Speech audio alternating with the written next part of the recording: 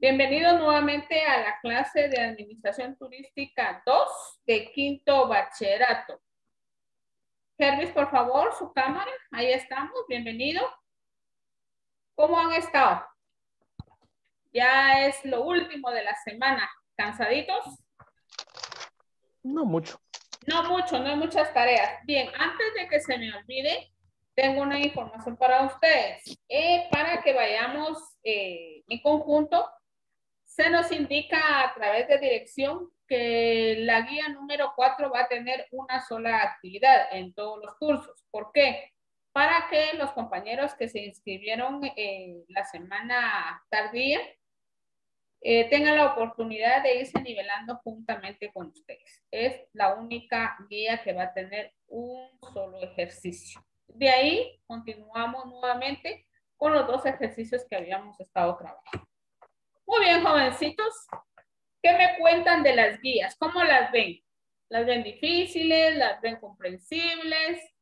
¿Qué hay que cambiarle? ¿Queremos sugerencias para ir mejorando eh, esta, esta actividad con ustedes? Queremos interactuar ahorita para ver en qué podemos eh, trabajar qué es lo que ustedes eh, necesitan para ir modificando o estamos bien como vamos trabajando. Eh, yo considero, señor, que vamos bien, ya que en algunos cursos al principio, cuando empezamos con las guías, se nos adjuntó también un archivo en donde nos explicaban cada uno de los ejercicios. Solo en mi punto de vista, posiblemente tal vez si se llegase a hacer otro ejercicio, tal vez sería, si no tuviésemos clases, entonces adjuntar un, como que un ejemplo, como se ha hecho en, en las guías anteriores. Gracias, Miguel. ¿Alguien más? ¿Comentario alguna sugerencia? Muy bien. Gracias, jovencitos. Entonces, continuamos y entramos de lleno a la clase del día de hoy. Administración turística y hotelería 2. Vamos a recordar lo que teníamos en la guía número uno, que era las organizaciones, las estructuras organizativas y funcionales. ¿Qué me pueden recordar de esta guía? Hablemos de la estructura funcional de un hotel o de un restaurante. ¿Cuál es el objetivo de una organización, creen ustedes? A ver, Olga. ¿Qué me puede decir? ¿Cuál es la función de una organización? ¿O cómo usted puede eh, organizar un establecimiento como un hotel o un restaurante? Según la guía, según sus experiencias, según sus conocimientos. Pues a mi opinión, señor, es darle seguimiento a los lineamientos que se han establecido por parte del administrador de un hotel para darle así un objetivo general a todos los trabajadores, empleados. Desde mi punto de vista, sí lo veo. Exacto, y es así.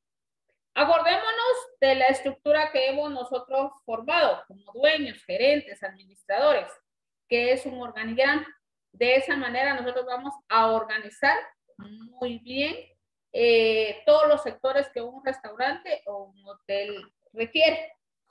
Hay eh, estructura jerárquica que ahí es donde viene a funcionar una organización bien definida, como usted lo decía, y es donde nosotros vamos a respetar jerarquías. Jerarquías dijimos que es de jefes, subjefes, secretarios, contadores, y ah, es una organización que ustedes han definido en una escala de quién manda, quién, eh, después del mando, quién viene, y ellos tienen a su cargo otro personal, y ustedes se van eh, pues familiarizando con todo el personal que hay.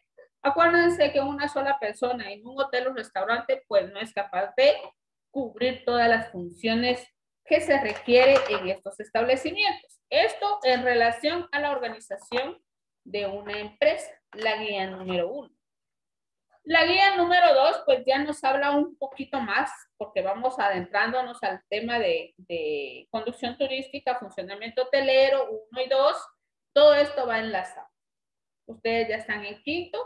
Y ahora en la guía número dos vemos turismo para todos. ¿Qué me pueden hablar ustedes de turismo para todos? A ver, Marlene, ¿qué se recuerda de la guía? Ya envió su trabajo.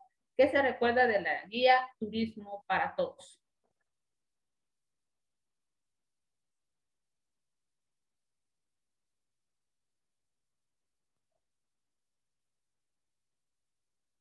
¿Alguien que le quiera apoyar a la compañera Marlene a recordar? Eh, señor, así como decía en el, en la guía que usted nos, nos mandó, el objetivo del Instituto o la Organización de Turismo Internacional es hacer que el turismo sea más factible para todas las personas. Creo que el mismo nombre lo dice, que sea turismo para todos, tanto sea turismo nacional o interno, como lo habíamos visto, o internacional en el extranjero. Muy bien. El turismo para todos habla de un punto específico, que es la integración de personas con discapacidad de personas que tienen eh, cierto grado de problema, podríamos decirle, llamémoslo de esa manera, pero lo que el turismo quiere es que todo mundo participe. Ese es el objetivo principal, que todo mundo participe sin distinción de nada, de religión, de nacionalidades, incluso de discapacidades. Ustedes pudieron observar en la guía unos dibujos que yo les adjunté. A una persona en silla de ruedas, a una persona en silla de ruedas, incluso eh, en una lancha, está participando con, con las demás personas. Miren, jovencitos, el turismo para, para todos integra a todo grupo que quiera venir, hablemos ya de nuestro contexto, a Guatemala, a conocer, a pasear, a relajarse, a compartir nuevas experiencias. ¿En dónde entramos nosotros? Veámonos nosotros como gerentes, como propietarios, administradores de un hotel. Ustedes tienen que pensar qué es lo que van a hacer para este turismo que viene, un turismo especial. ¿Qué es el turismo especial?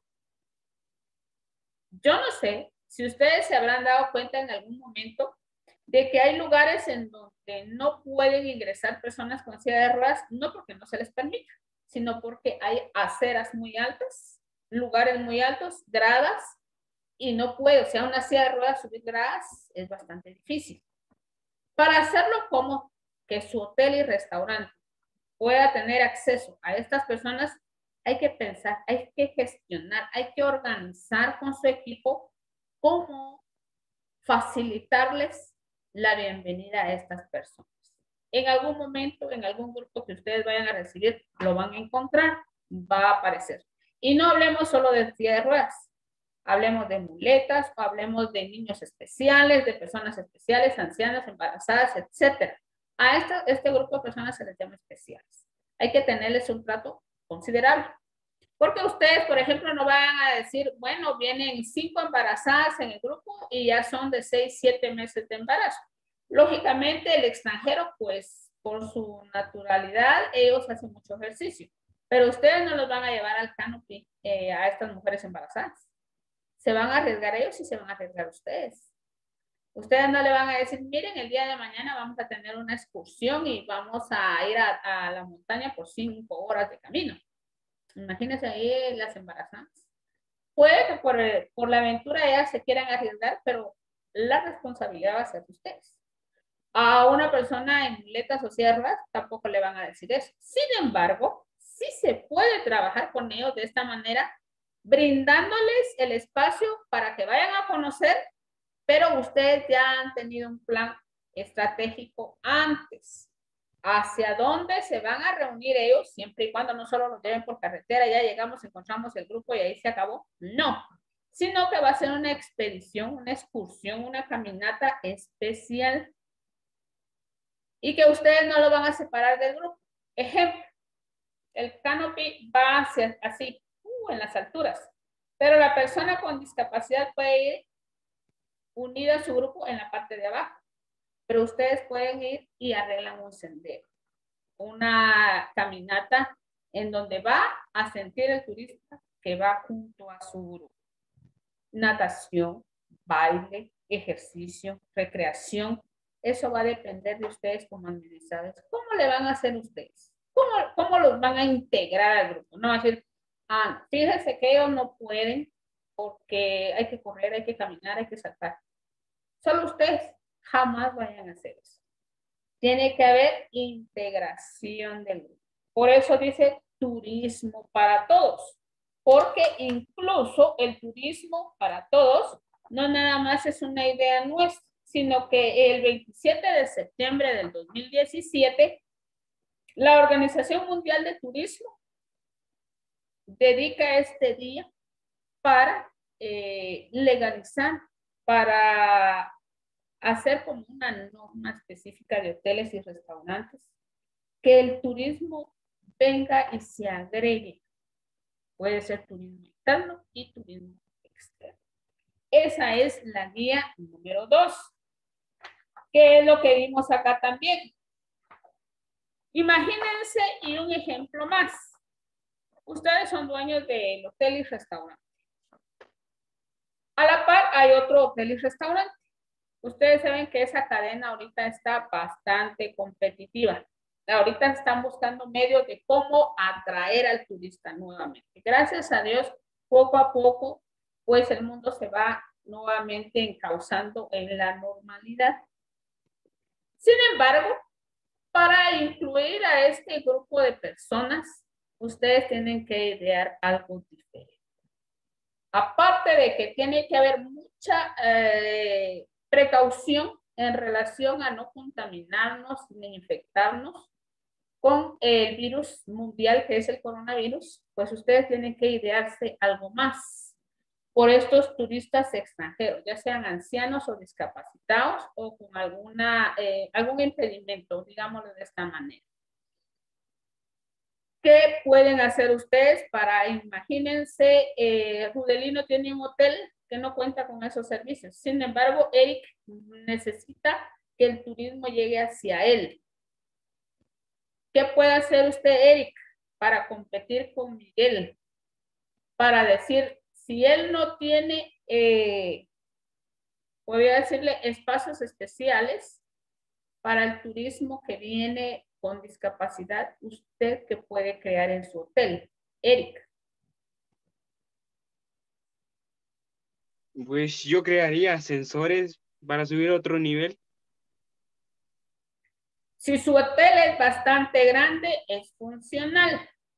A ver, Hervis, ¿qué haría usted?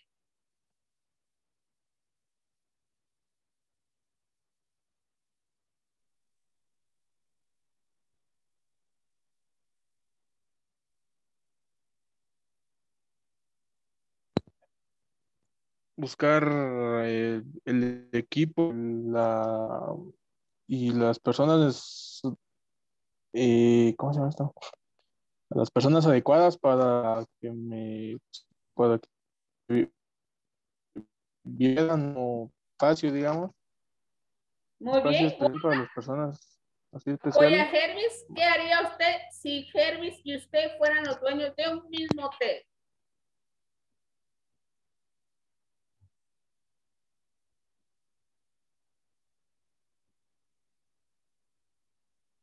A ver, ¿qué harían Fervis y Olga? Un mismo hotel. ¿Qué harían? ¿Qué sería el cambio? A ver, Miguel está pidiendo la palabra. Dígame, Miguel. Eh, así como decía el compañero, se podrían colocar ascensores, pero estamos hablando ya de un hotel grande. Pero si es un hotel pequeño, se tendrían que habilitar espacios. Pero para habilitar esos espacios, primero tengo que administrar bien mi hotel. No solo es de eh, habilitarlo nada más. Eh, también está la opción de dejarlos en el primer piso, pero también puede que mi hotel sea pequeño, pero tenga balcón y ellos quieran una habitación con balcón. Entonces tendría que ver eh, también para habilitar el espacio para que ellos puedan acceder al, segundo piso. Se podrían utilizar bastantes técnicas para esto. Están, eh, creo que ahorita están unas que son como tipo escaleras eléctricas que incluyen una silla.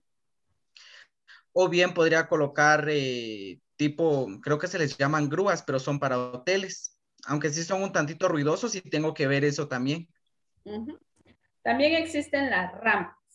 No se olviden de las rampas que son eh, pues como resbaladeros, pero acondicionados, en donde pueden subir estas personas. Para aquellas que no, pueden subir gradas, no pensemos solo en personas con, algún eh, instrumento para apoyarles, sino que personas embarazadas, personas ancianas niños pequeños, son personas especiales hacia nuestro hotel.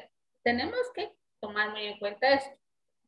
Muy buena idea, Miguel, la de Eric, eh, la de Hermes y, la compañera, muy buenas ideas. Pero, como usted lo dijo, Miguel, tenemos no solo decir, ah, bueno, yo lo voy a hacer, tenemos en lo que es la administración ver si nuestra capacidad está para hacerlo.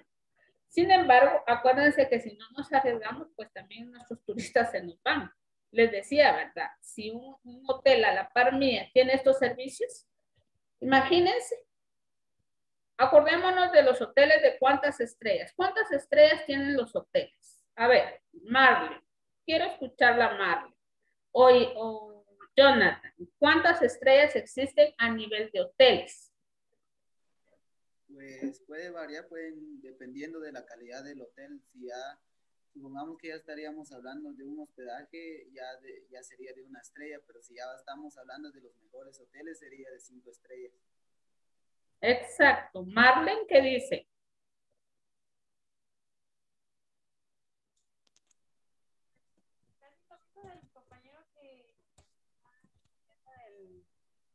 Del por hospedaje, por decirlo así, y entonces te cambia o sube la estrella. Exacto. Muy bien, jovencitos. Nos acordamos de ello porque el año pasado lo vimos. Los hoteles va dependiendo de todo lo que incluya para eh, adquirir su estrella, de una a cinco estrellas. Nuestro hotel y restaurante, pues, eh, está pensado, como dicen, si es pequeño, puede contar con, toda la con toda la comodidad que el turismo, el turismo perdón, desea. Esto es en relación a la guía número dos. ¿Para qué? Para conectar la guía del trabajo de esta semana, que es la número tres. ¿Cuál es el tema? Pues ese reglamento de establecimientos, hoteles y hospedajes. Nosotros podemos pensar en un hotel en un restaurante, pero hay leyes, hay normas, hay reglas que nos van a regir. ¿Qué significa esto? Que nosotros tenemos que llevar de la mano la ley. ¿Para qué? Para que nos ampare en momento de que pueda suceder X circunstancia con alguna persona que se hospede o que coma dentro de nuestro establecimiento y para llevar en ley nuestro, nuestra organización. Existen eh, acuerdos gubernativos que rigen a los hoteles y restaurantes. ¿Qué es un acuerdo? Pues es una apuesta en común que en el gobierno se hizo para establecer eh, paso a paso las leyes y las normas de un establecimiento. Hablamos específicamente de nuestros hoteles y restaurantes. Hay uno en especial y es el artículo número 3 de establecimientos y hospedajes, en donde define qué tipo de establecimiento tiene usted. Uno, dos, tres, cuatro o cinco estrellas. ¿Quién califica esto? ¿Quién creen ustedes que califica? Hay una institución que califica esto. ¿Qué institución creen ustedes que es?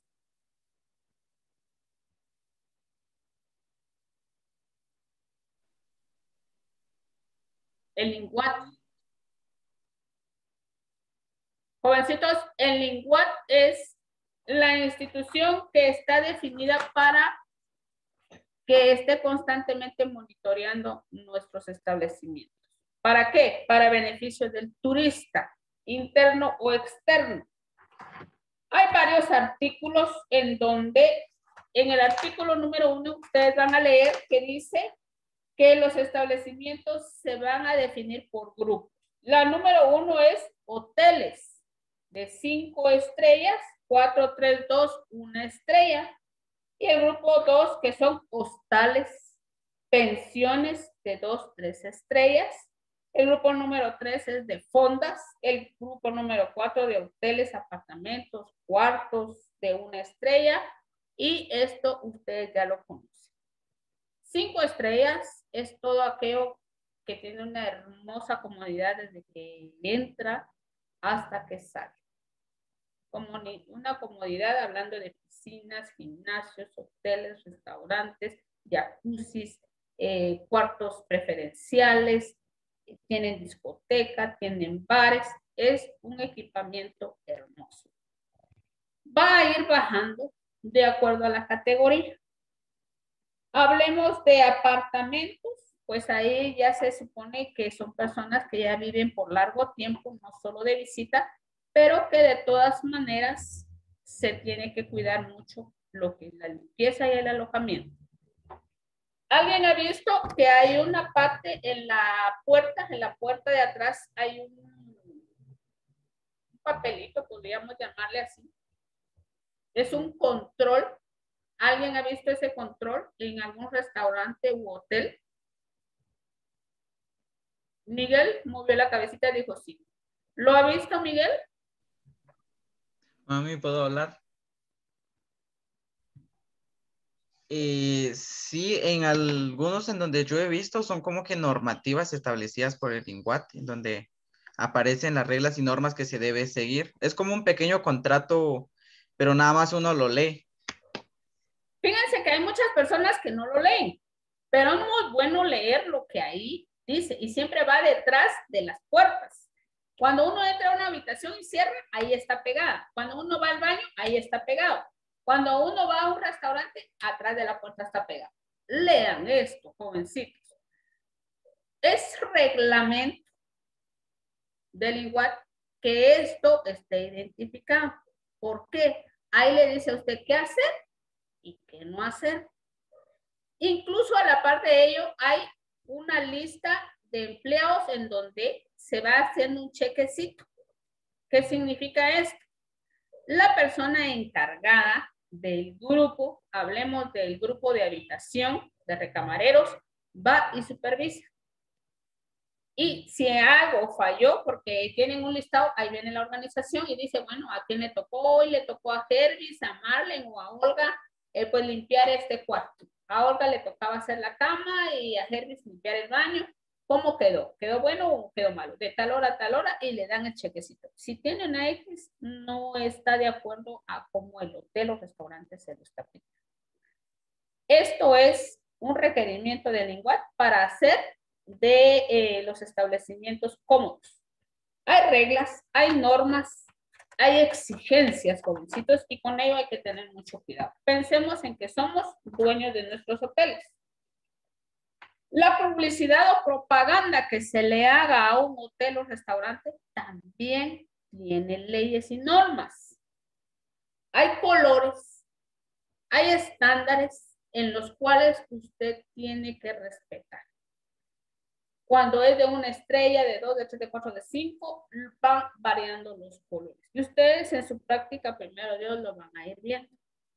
Apréndanse los colores, lean su guía y se van a dar cuenta que cuando van a la práctica ya les va a ser más fácil. El control que hay que llevar, lo que hay que ofrecer, incluso la opinión que hay que dar, porque hay libros de opiniones.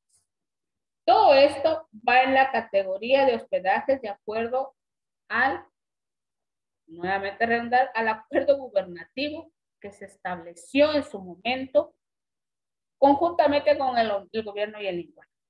¿Para qué? Para que nosotros como administradores tengamos en cuenta que el turista tiene que estar 100% seguro y cómodo. Ahora yo les pregunto, cuando ustedes crean que hay algo prohibido y no se puede hacer, pero esto les va a generar dinero, ¿ustedes creen que es lo ideal hacerlo o no hacerlo?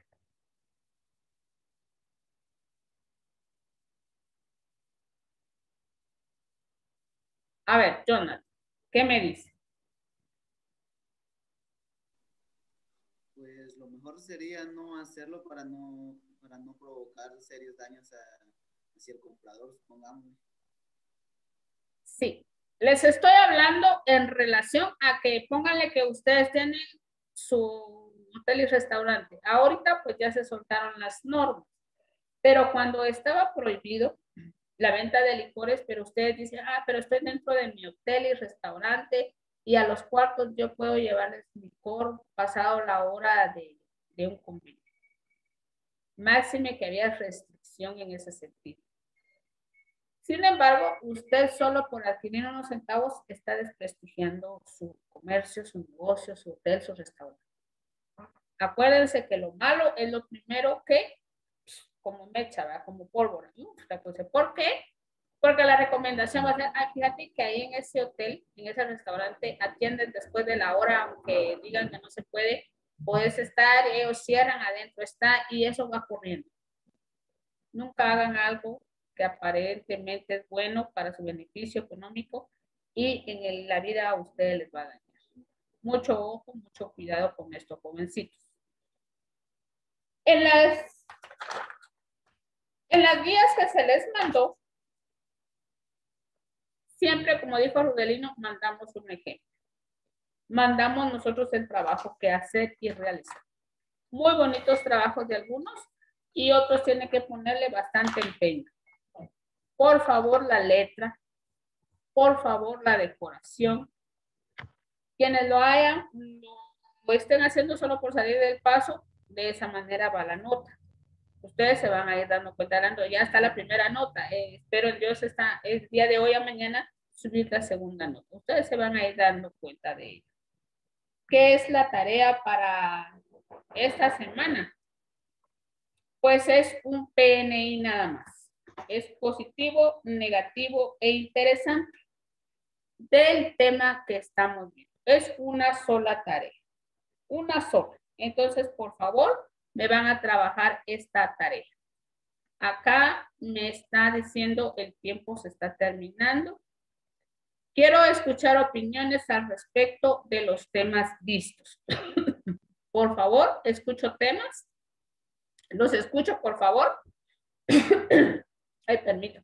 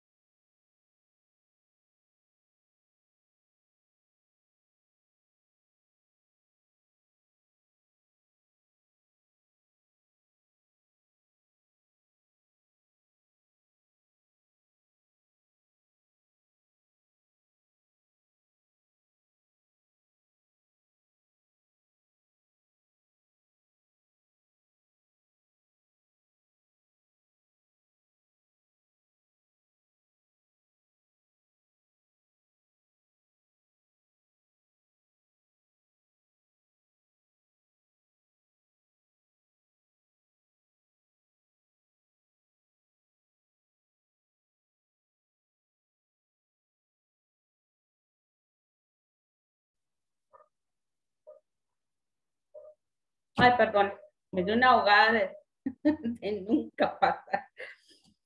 Pues escuchó, jovencitos, ¿qué dicen de la guía? ¿Qué opinan ustedes de los temas que hasta ahorita estamos viendo?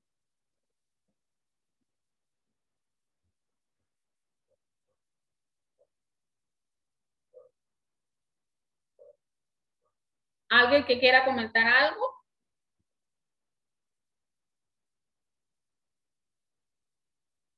Nadie. Señor, pues yo lo siento muy normal, no siento tanta presión en hacerlo. Pues ahí estamos. Por favor, como les decía, trabajen muy bien esto. Este trabajo del día de, de hoy, podría decirse la guía número 3, va a ser bastante fácil.